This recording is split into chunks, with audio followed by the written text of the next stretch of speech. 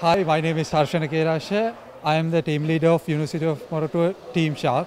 Uh, and we are the first Sri Lankan team to participate and first Sri Lankan car to made, in, made into Formula Student event. And this is the first Formula Student racing car in, made in Sri Lanka.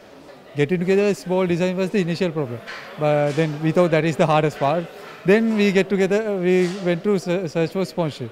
Uh, when we went to uh, for, go for sponsorship, all the people what they have said is, uh, we can't sponsor for you. Uh, this is not possible. You can't manufacture a car in Sri Lanka.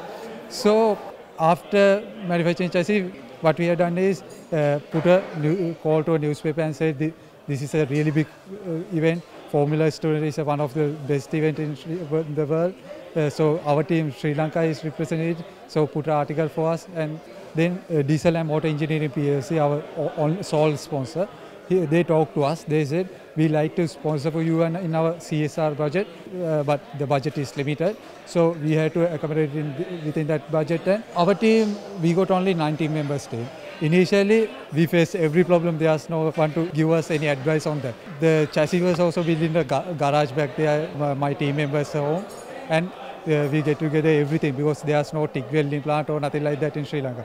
We basically learn everything from top to bottom. According to the rules, there are some standards for every nut and bolt. There's no such a nut and bolt to purchase in Sri Lanka. We had to import basically everything. We completed the car within about uh, five months, six time period because the, after the sponsor came up.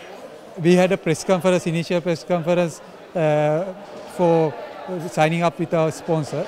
Uh, everyone in the media asked, can you do it? You can't do such a thing in Sri Lanka. That was the main question and not the only question. They didn't ask about what is the event, nothing. Only thing they asked about whether you can do it. Uh, we've uh, finished our all the testing and everything in our car and we unveiled our car. There was an article in every newspaper, in every language in Sri Lanka, there was an article about us. And basically, uh, in initially our fa Facebook page, there was no more than uh, thousand likes. Basically, no one cares. There are some idiot people doing some crazy project.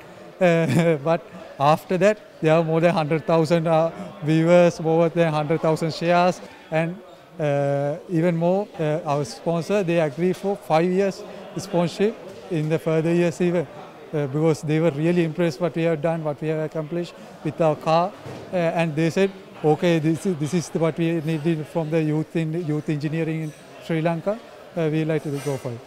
If you judging an engineering student, whether from uh, that hasn't participated into a Formula student, really huge difference gap between that person and uh, the one who hasn't come, because the experience is much more than the one he learns in the books.